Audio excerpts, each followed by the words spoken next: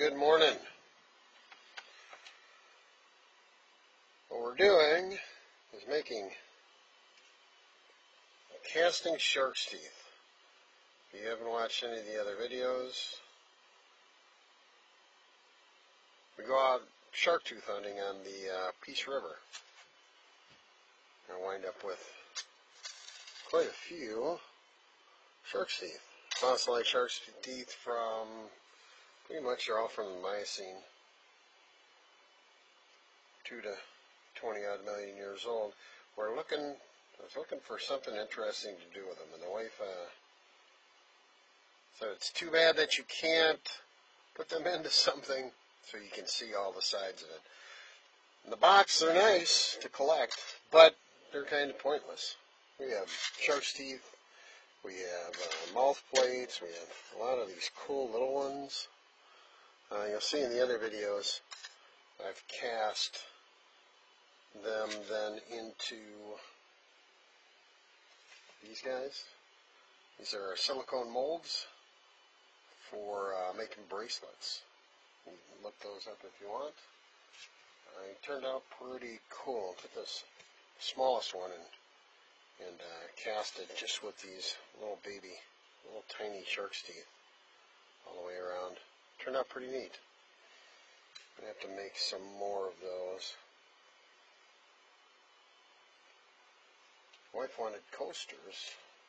I think these will be a good use of the shark's teeth. So this is the octagon. I'm sorry, hexagon. In clear.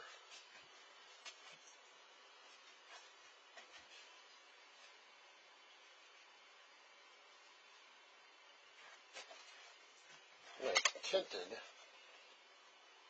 Trying to get like a blue-green color for uh, to simulate water on this guy. Turned out pretty neat. It's a, it's a really cool color. Can't wait to see when these come out. Probably tomorrow or the next day. We'll leave them in there for 48 hours probably, so two days. It all started with this megalodon tooth. Took a model of it, cleaned it up, put it into, uh, added some supports for it, so that way I could set it into a mold. Created this mold, took uh, full 8 ounces of this mold rubber kit to make this mold. Had a problem with it because I had to push it down in order to get enough fill to come up on the edges.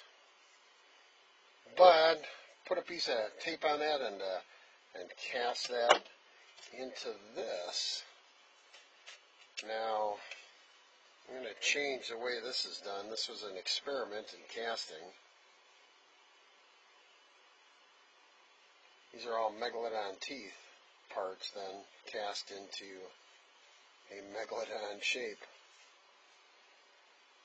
Actually turned out pretty cool. It's not as transparent as I would like, but from a unique paperweight standpoint, that's kind of cool. Uh, because of the ridges in it from the print, because I printed it out so coarsely and it didn't fill or sand it, um, and wound up with a bunch of lines so you couldn't see through. So what I did was I took and poured on top of it another coat after I cleaned it off and turned it into uh, pretty pretty clear. Surprisingly clear, actually. We'll have to see how that's going to turn out. Might need another coat on top. I can still see lines, but a lot of that is solid. I'm going to do now, since I cast a, a round one and a hexagon, we're going to do the square. I don't know, well, we probably should color it also, just because. And into this, I think I'm going to put the mouth parts. These are these are stingray mouth parts.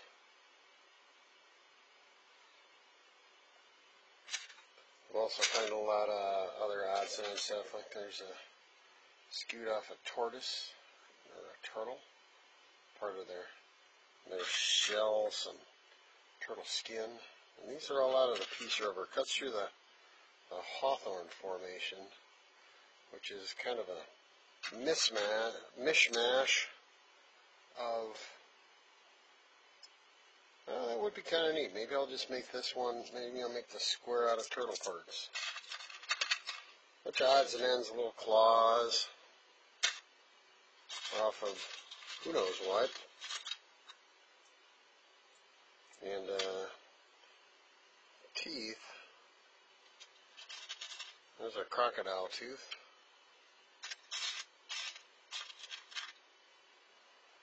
Maybe I'll just make one out of crocodile teeth. Square out of crocodile teeth? That's a good question. And we've got a bunch more Megalodon parts over here. One of these days I'll find a, a complete one.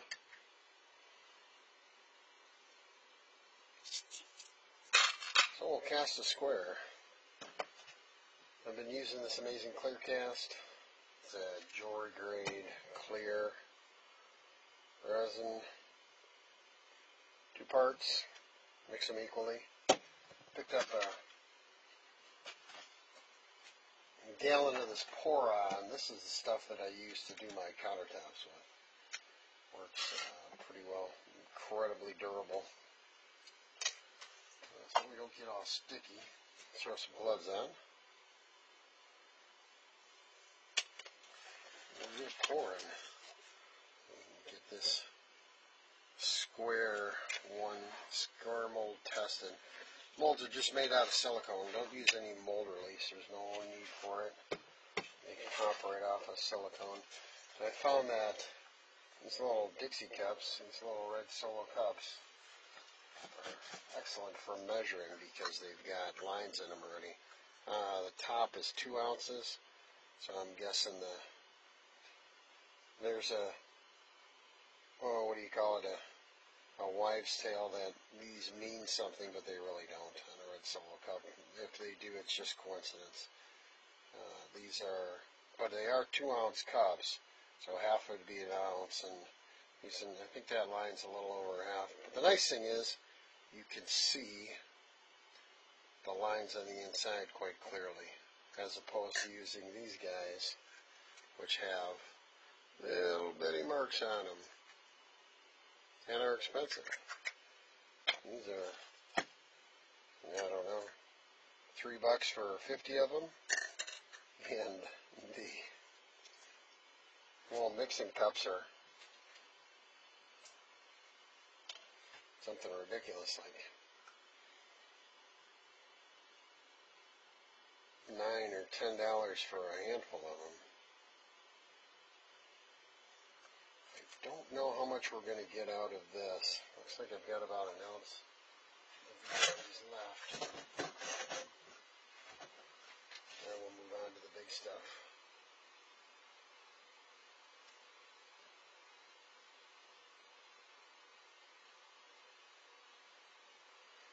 Now, the other two molds each took two ounces without a problem.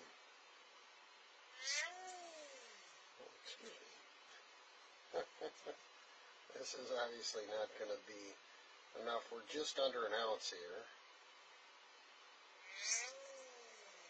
Mm. Shouldn't eat those clams last night. well, it looks like it might work out again. We'll let this settle for a second. There's the B sign. I think I will put that green tint in here also. The A side is your actual epoxy. Um, the B side is the hardener. You want to mix these equally.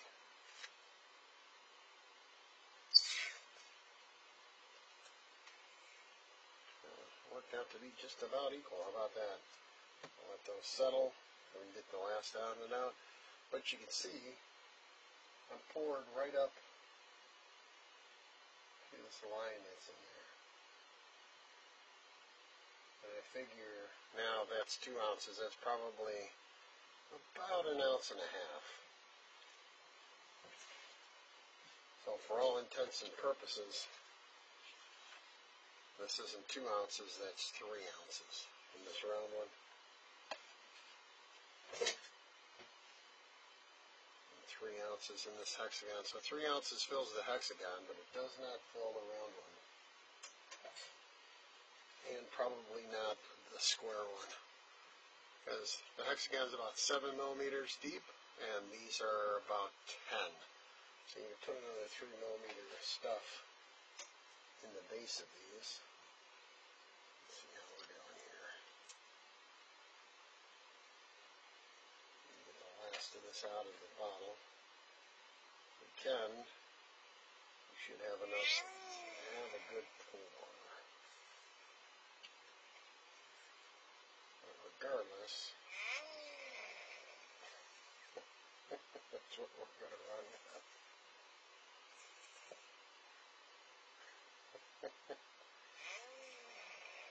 and hopefully I'll never be too old to not laugh at fart jokes. Because they're funny. And that takes it up just above the rim. Stinky. The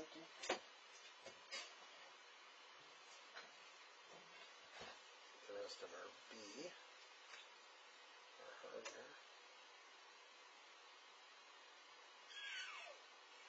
If you pour thick, you got to be real careful not to put in too much hardener. You don't want it to cure too quick. You're doing these thin pours like this. I actually think it might be a little bit better have a little extra hardener in there because you don't want it to be sticky. That's what happened with the big one. Put this megalodon. And I poured that in four different pours and one of the layers is actually sticky. It won't be after it finishes, after that coat finishes drying on it, it should seal the whole thing in there.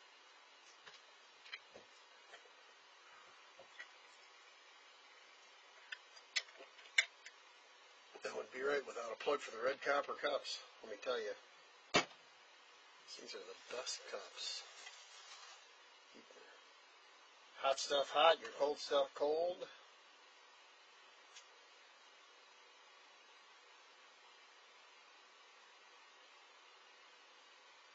And it's a lot easier to pour them into another container like this to mix them.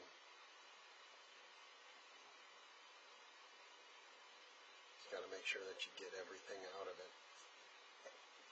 And you can with a little scrape. Like and subscribe if you uh, enjoy these videos or you learn anything. You learn new things every day when it comes to crafting fun things like this. A lot of videos on people creating things out of resin. A lot of great tips and tricks to make your life a lot easier if you plan on doing something similar.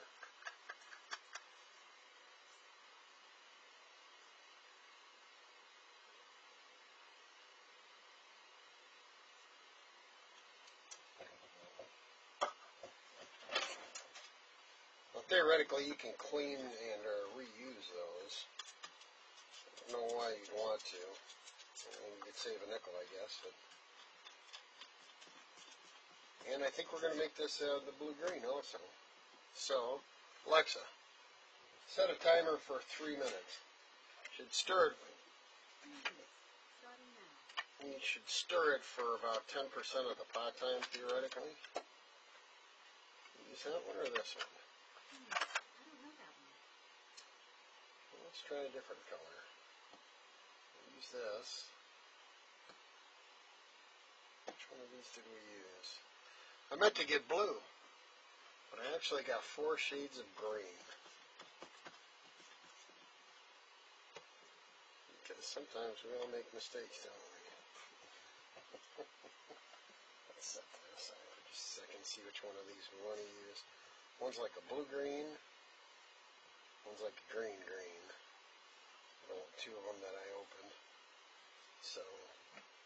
it looks like the green green. This looks like blue green. And this is the one we're going to use. Because it really kind of gave that, uh, that poster some pop. So far they've gotten the seal of approval from the wife, and I am mixing this incorrectly on purpose. I'm trying to introduce air bubbles in there to kind of make it look uh, like water. Get some of this green green in there. It only takes a few drops.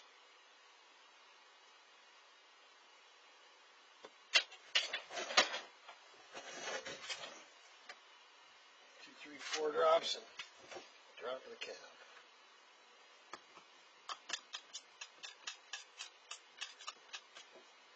Next time, I'll just add it in near the end so that I can keep some of the swirls.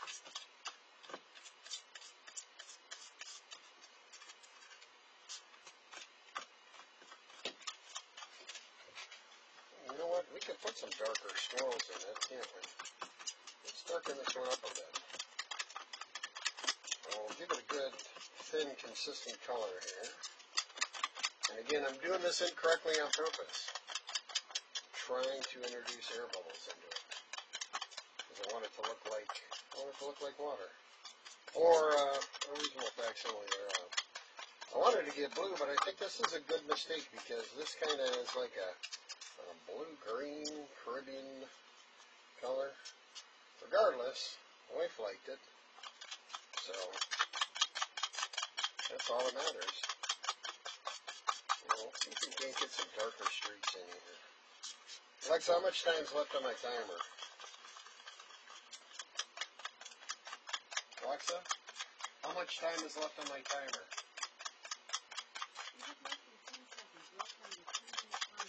Excellent. One of these days I should start, you know, hey, Alexa, order 20 pounds of dog food. Just to mess with people who are watching it. Alright, that's a really pretty, really pretty color. We got plenty air bubbles in there. Alexa, cancel the timer. I think I'm going to add a couple more drips just to make some streaks. I'm going to drop the cap again because I don't learn from my mistakes.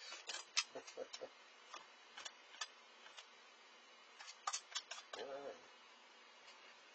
It's going to be a nice fast pour because we want the air bubbles.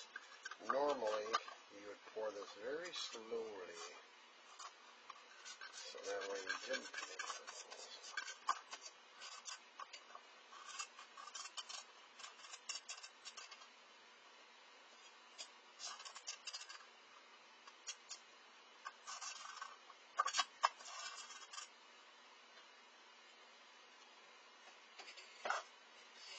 A couple. Should we try it? Sure. I've seen this in a couple of videos. I've done that. And just kind of streaked it out on here.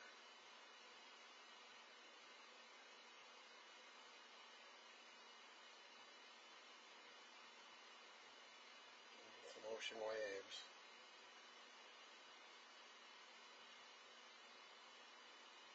I think that'll do. Kind of a nice effect. A little different. Get a paper towel out already.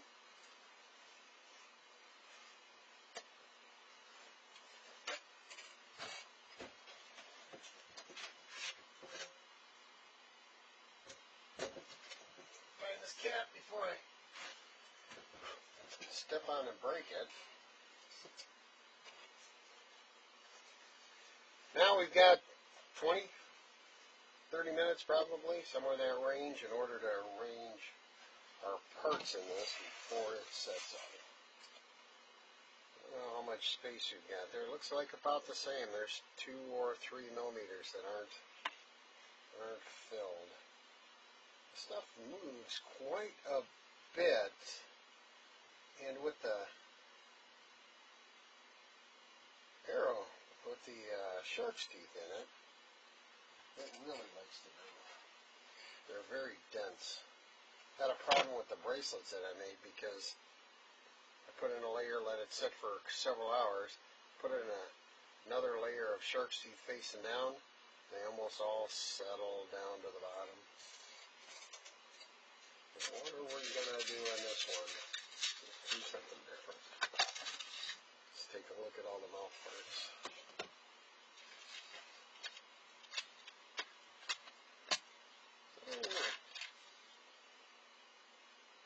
I don't think these are thin enough. I think we're probably over 10. We got about 7 millimeters to work with. Well, this is 715, 735.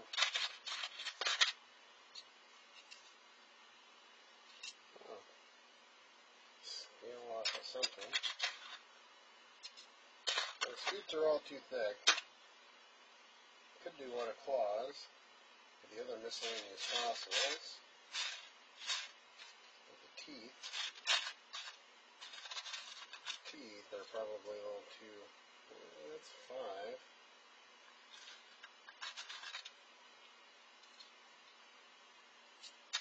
That's ready. Cool. Oop, I think we're gonna do the. We've got a pile of these stingray parts. Let's see what these look like. They should be nice and thin.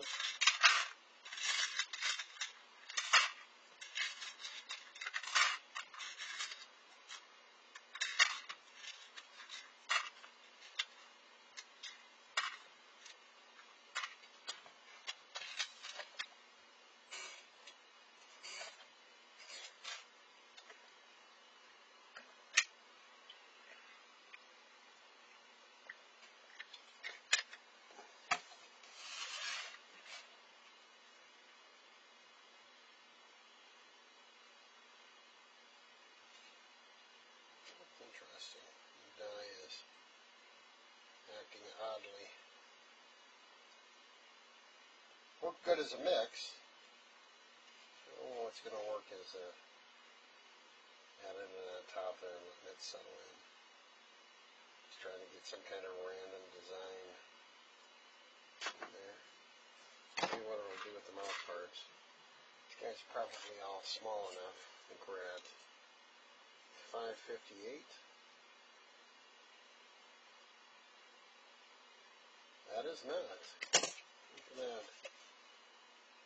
But what we can do is do another pour clear on top of this and fill this guy in.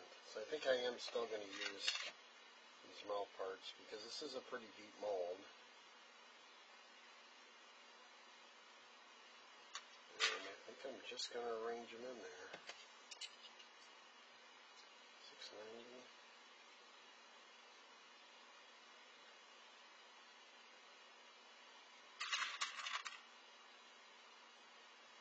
Just kind of scatter them around in here. Maybe throw some down on the edge. Oh, now there we go. That's what we'll just make this an edge of malt parts. Living on the edge of malt parts. That'll work. These guys will all sit down in there. This guy's covered, but he's gonna have to come out.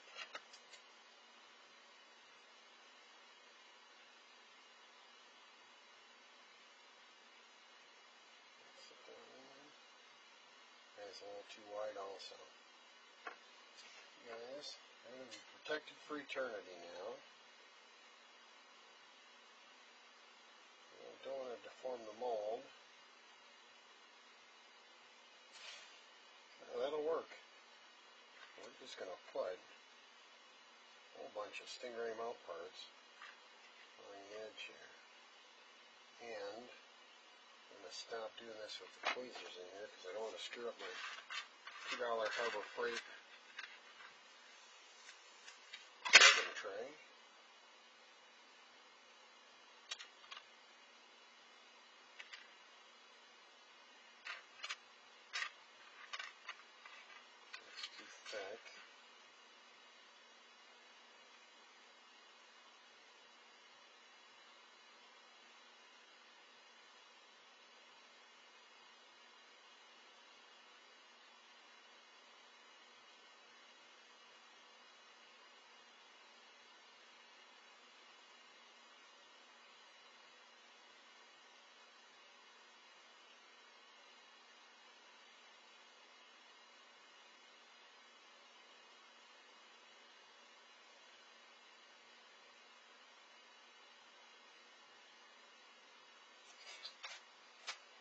things are pretty cool in a sense. It's hard to believe that that's a, you know, several million years old.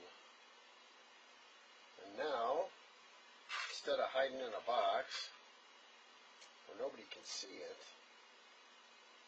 it is going to be captured for eternity. We talk about the Peace River while I'm doing this. It's a part of the Hawthorne Formation is what it cuts through. It's a really unique formation in the United States. There's really nothing like it. It's uh,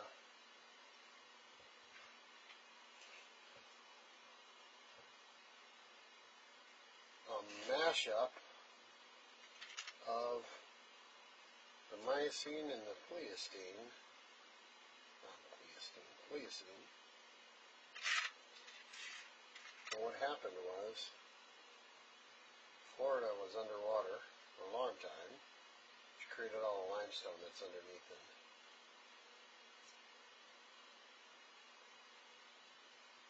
Then the land rose up and really kind of pushed up Ocala.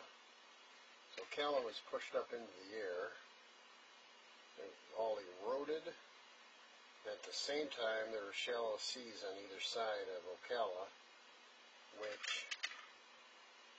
then eroded and created a bunch of a bunch of clay and sand deposits covering the covering all of these fossils. Well, covering everything that died and fell to the bottom, and at the same time, everything was coming off of the Appalachians and washing down into Florida and covering up everything that died down here and was buried and fossilized. So what you got is a beautiful fossil graveyard. Graveyard that's made up of all kinds of animals, both reptiles and horses and sloths, dog bears, and every other kind of a small mammal that you can imagine. They all they all died, got washed down into the shallow sea and got covered up with sediment from covered up with sediment from um well, that's a a piece of a shark uh, tooth. They're covered up with sediment from the Appalachians. And then the ground rose back up. And it sat that way for many millions of years. And the Peace River cuts down through some of the high points. So if you ever get a chance to kayak on the Peace River, do a fossil hunting trip too, because there's people that will take you on tours show you how to find the fossils.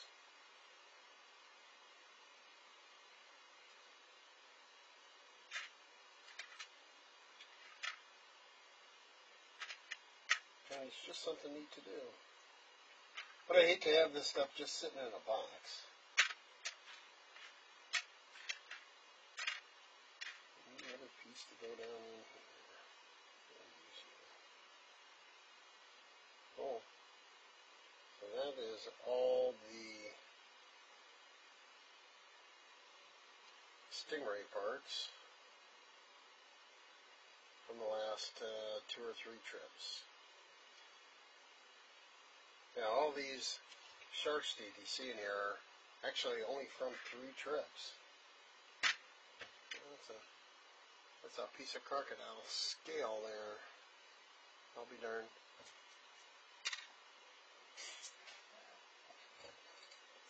So there we. Let this sit for 24 to 48 hours. Really, 48's the best. If you mixed it right, hardener to um, hardener to the resin, then it's going to harden up. If not, you're going to have a sticky mess. The only way I've found to combat that is to actually pour another coat of resin over it. I wish we'd get a little bit more variation in this, like a wave standpoint. There. Let this sit, self-leveling, and we should be able to check out our stingray parts anytime we're interested in looking at stingray parts.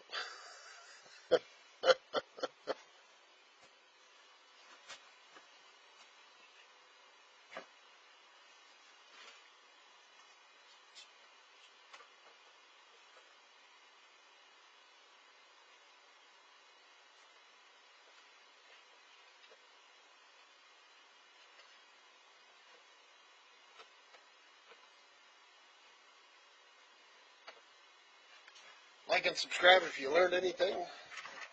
If not, it's not a big deal. We do this for fun and education. And so that way my grandkids can look back and learn something when I'm gone. Have a great day.